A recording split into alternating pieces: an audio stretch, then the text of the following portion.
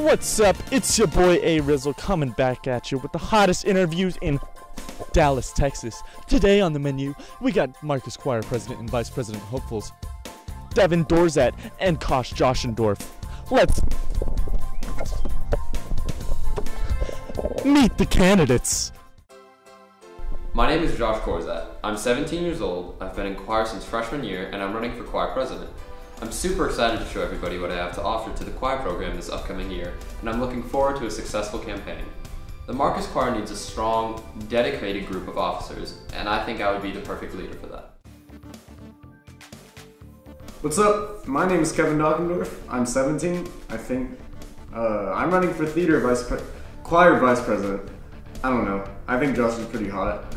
You should vote for him. I think I'm pretty hot too. You should probably vote for me too.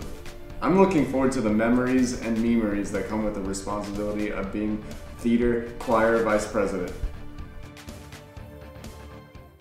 As choir president, what activities would you incorporate into the school year?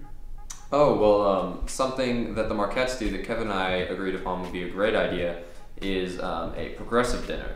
So basically, the idea is that the choir has a four course meal with appetizers at one house, um, an entree at another, a different entree at the next house, and then dessert at the last house. It would be a great bonding opportunity between the different choirs. Um, there's also food, of course, and everybody loves food. I don't know. Um, Josh said something about food. That sounds good to me. Uh, he also said something about a lock-in. I mean, I'm not sure about that. He snores really loud. What are your primary motivations for running for choir president? Well, choir has really been my passion since I was a freshman. Um, I've grown to care and respect everyone in the program, as well as the process that creates great musicians and great people for the future. I really look up to Mr. Davis and Mrs. Freeman, and I have a vision of making this program as extraordinary and united as possible. Resume bullet. How do you two get along with one another? What is the secret behind such a successful presidential duo? Oh, well, Kevin's practically my brother. Um, there's so much love between Kevin and I. We understand each other's needs and desires, faults and strengths, that sort of stuff. There's no one I would rather be running for office with. We fight a lot.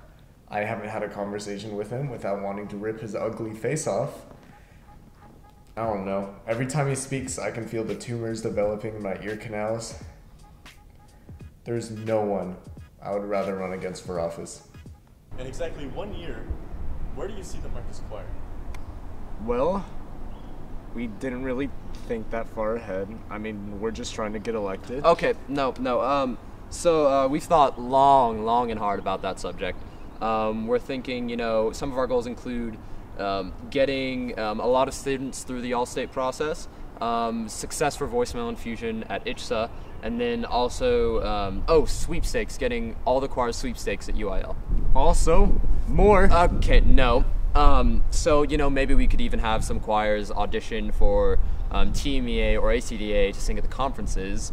Uh, Dude, we didn't talk about any of this. shut up, Kevin. I'm trying to have an interview here. We are trying to have an interview here. Why do you always have to be first and I'm always second? I want to be theater president. That's not even.